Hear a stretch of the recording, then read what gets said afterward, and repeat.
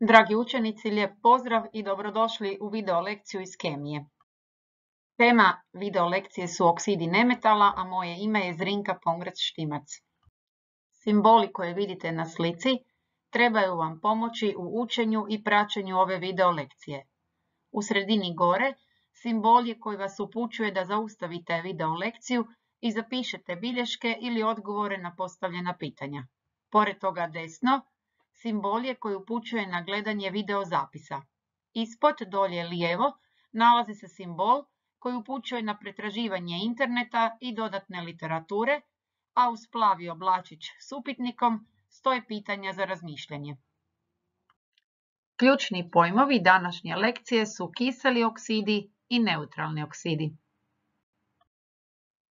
Oksidi su spojevi s kisikom u kojem atomi kisika imaju oksidacijski broj minus 2.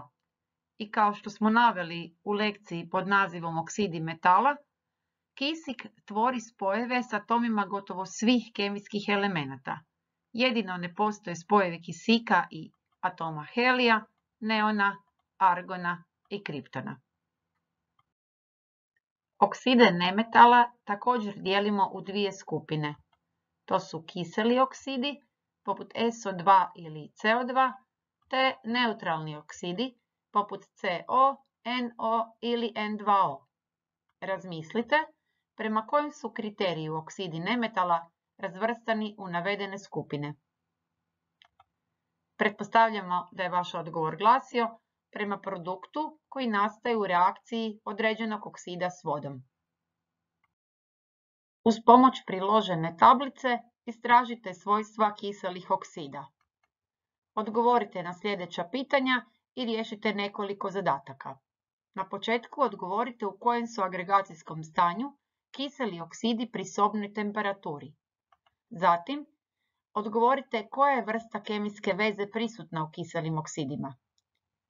Prikažite Luisovim simbolima strukture molekula prikazanih u tablici i objasnite kako na jakost privlačnih sila utječe relativna molekulska masa molekule i usmjerenost kemijske veze u prostoru. Pomoć potražite u udžbenicima iz kemije ili u drugoj dostupnoj literaturi, a dok rješavate zadatke, molimo vas zaustavite video lekciju. Predlažemo vam da sada pogledate pokus koji prikazuje dobivanje iz svojstva sumporova 4 oksida.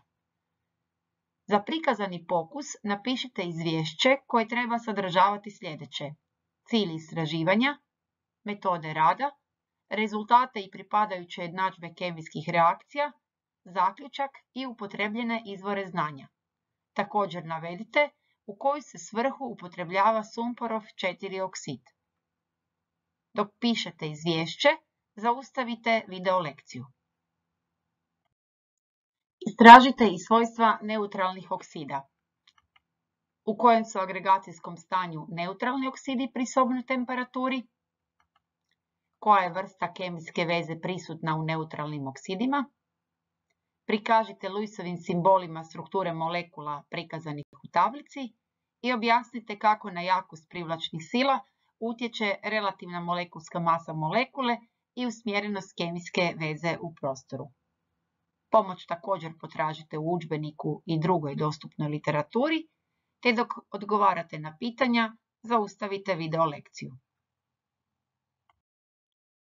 Predlažemo vam sada da pogledate video zapise do kojih vas vode priloženi QR kodovi i poveznice ispod njih. Nakon toga odgovorite na postavljena pitanja. S atomima kojeg elementa kisik tvori spojeve u kojima ima oksidacijski broj plus 2, kojom su vezom povezani atomi u tom spoju, je li molekula toga spoja polarna ili nepolarna? I objasnite svoj odgovor, napišite jednadžbu kemijske reakcije dobivanja ovog spoja i istražite za što se on upotrebljava. Pomoć potražite u dostupnoj literaturi i na internetu i također Zaustavite video dok odgovarate na ova pitanja. Za kraj istražite i neke organske spojeve s kisikom.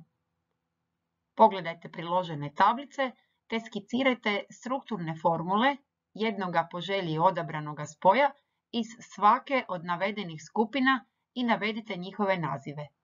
U svakoj formuli istaknite atom ili atome kisika drugom bojem. Pomoć potražite u dodatnoj literaturi, a dok rješavate zadatak, zaustavite video. Hvala vam što ste o oksidima nemetala učili sa mnom i srdačan pozdrav!